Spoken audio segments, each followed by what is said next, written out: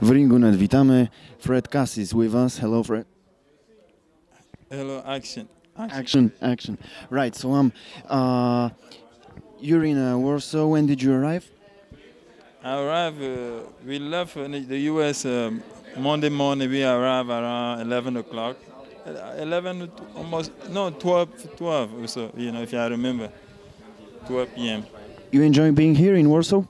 Oh man, this my uh, no, not actually. This is my second time in Poland. First time in Warsaw, but I'm having a good time so far. The weather is nice, man. Do you feel prepared uh, for your next opponent, Friday opponent? Oh yeah, um, I, I, I'm an older fighter. I stay ready. You know, you don't wait the last minute. I always stay ready. Uh, uh, I feel good, to be honest. I feel really good. But Uh, you feel like you have a special tactic for a, uh Friday fight for Izu? Have you have you watched his fights? for me, I'm a natural man. I do what I always bring with my opponent. Bring. I don't. I make sure I do my homework. I prepare myself to face the whatever come at me. But um, I don't watch nobody, nothing. I'm it, I, it, Friday night is gonna just be me looking out for myself and making sure I don't catching no blows I'm not supposed to catch. So if you feel really self-confident, I can I can see. Yeah, I'm really yeah, to uh, boxing. Boxing is a dangerous sport. You know, you can't play boxing. You have to be ready. You know, it's, I'm ready. How would you describe Izu as a fighter? Thi- He's a bit taller than you.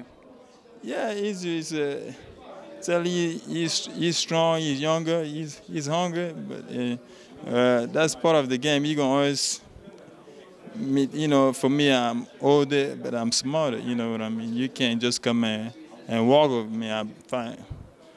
I fought giant before if y'all seen it. You know, but I can be I can be. Uh, saying, "Oh, I'm the little guy. I have to." No, it's it's a fight. It, it's a part of being a heavyweight. You know. You Let's say that um uh, you you win that the the Friday fight, and there will there be any special wishes like an opponent after that fight? You still feel it? Like you can keep going. I'm, I'm open to everything. You know, I'm just keep doing, uh, working harder. You know, knowing my. You know, I just have to keep uh, make sure I stay uh, on top, so I can. So they can keep looking for me for the, so I can keep searching for the big fight. You know, that's what I want. You know, I'm ready to fight pretty much everybody. Yeah, that's what I've been doing for the past five years or so. You know. Thank you for an interview. I wish you good luck on Friday fight. Thank you so much. Appreciate it.